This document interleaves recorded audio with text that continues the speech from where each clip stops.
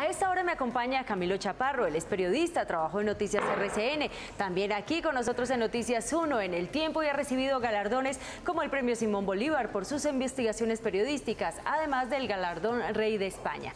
El conflicto armado se ha convertido en el tema que le apasiona, le ha dedicado varios libros y su más reciente es este, El Dorado de las FARC. Así que Camilo, buenos días y bienvenido. Claudia, mil gracias por la invitación, buenos días. ¿Qué ha pasado desde entonces? Desde la publicación de este libro.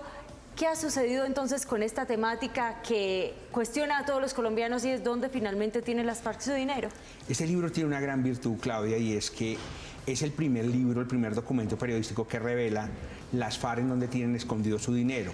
Durante 50 años las FARC han recibido millones y millones de, pesos y de dólares en efectivo. Es decir, es, la primera gran mentira que tienen ellos sí, al decir que, no tienen. No, son una organización multimillonaria multimillonaria que tiene, llegó a tener 70 frentes que todos los días recogían dinero de extorsión, narcotráfico, boleteo y todo ese dinero han decidido sepultarlo, esconderlo en la selva y ahí lo tienen y el libro también revela que hoy día son los grandes propietarios de las minas de oro del país. No de todas, pero sí un gran porcentaje, sobre todo en el sur del país. ¿Qué pasa cuando en este momento están bajo una sombrilla, están en las selvas de Yarí, regresan y están esperando qué sucede ahora con esta renegociación de estos acuerdos? Dicen que económicamente no se pueden sostener.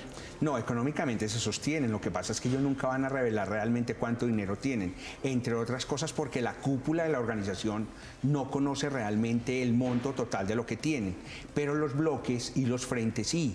Y insisto, como ese dinero ha sido en efectivo de toda la vida, es dinero que tienen sepultado en la selva. La prueba reina de eso fue la huaca que encontraron los soldados hace 11 años que era tan enorme que ni siquiera entre ellos han logrado consolidar cuánto fue el dinero que encontraron, pero esa huaca se repite por todo el territorio nacional. Y recuérdenos un poquito ese episodio, que se la distribuyeron entre los soldados que encontraron ese tesoro. Sí, son dos compañías que las meten en la selva a buscar a los norteamericanos que eh, se accidentaron en, un avión de inteligencia y la guerrilla los secuestró. Meten dos compañías a buscar a esos soldados, a perseguirlos y eh, se encuentran por accidente una huaca multimillonaria que eh, en nuestro primer libro, que fue La huaca, la verdadera, la verdadera historia de la caleta de las FARC, eh, se probó que era el bono pensional del mono Jojoy. O sea, esa caleta, el mono Jojoy la estaba guardando para, para garantizar su,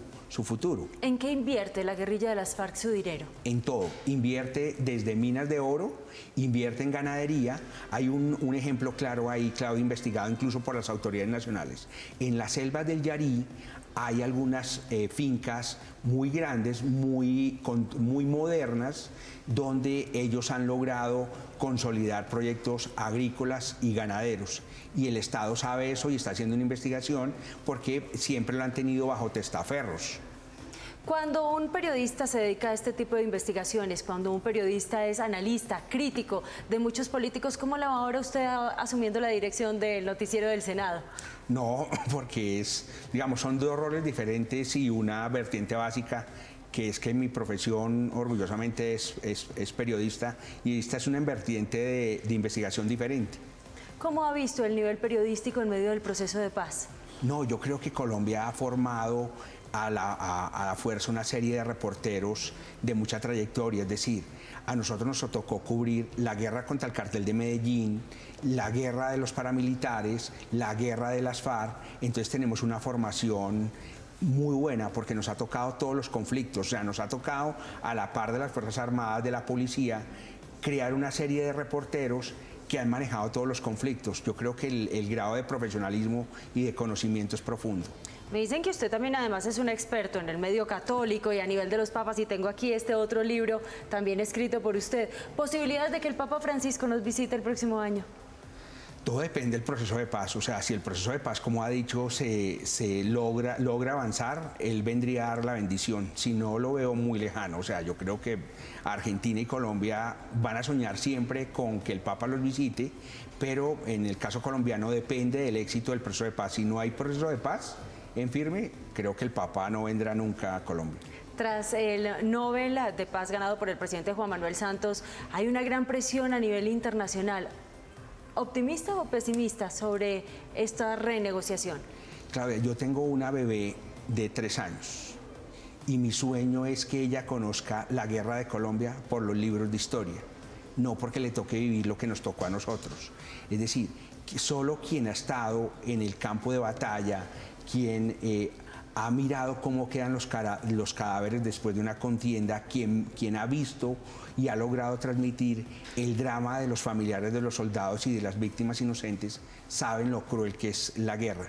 Yo me quiero robar una frase que dijo hace poco Félix de Bedut, y es que a nosotros los periodistas no hemos visto la guerra por televisión, nosotros la hemos vivido para llevar a la televisión y la guerra es muy cruel. O sea, desde Bogotá, quien no la ha vivido, quien no la ha sentido, desde las grandes ciudades, opina lejanamente, pero quienes hemos tenido la oportunidad de ver la guerra de frente, de estar ahí, sabemos que lo mejor que le puede pasar a este país, así haya que pagar un costo, es ese. No por nosotros, porque nosotros ya nos morimos con el recuerdo de la guerra, sino por nuestros hijos y los hijos de nuestros hijos. Todavía no seremos un país en paz así firmemos definitivamente y llegamos a un acuerdo con las FARC. ¿Es también optimista sobre el ELN? Sí, yo sí creo. Pero Claudia, sobre eso hay una cosa clara. Cuando se acabó el cartel de Medellín, no se acabó el narcotráfico. Ni se va a acabar. Ni se, ni se acabará, pero sí se acabaron los carros bomba y el asesinato de policías. El acabar con, con las FARC pues, en, en una negociación de paz o con el ELN evitará que cosas que nos llevan a, tener una, un ambiente de zozobra, de susto, de miedo, ir eliminando todos esos factores. Y eso será paso a paso. Pero hay una preocupación también de los colombianos, es este tentáculo que también tiene el narcotráfico, la guerrilla, con el Frente Primero que no se quiere desmovilizar, por ejemplo. Sí, pero terminar, el gobierno tiene un plan B en torno a eso. Guerrillero que no se someta lo vuelven como bandas criminales y lo vuelven y es mucho más fácil de, combatir, mucho más fácil de seguir. Además porque uno supone que las FARC van a entregar por la presión internacional, van a tener que entregar ese negocio paulatinamente y el negocio se va a reducir. Lo que hay es que reducir los factores de miedo que, que asustan este país. ¿Ya tiene la pluma lista para el próximo libro? Uy, el próximo libro, que es un libro, eh, eh, digamos que lo tengo en la cabeza, es un complot para asesinar al, al Papa, pero contado en novela. Bueno, estaremos muy atentos. ¿Para cuándo? Yo creo que por ahí año y medio.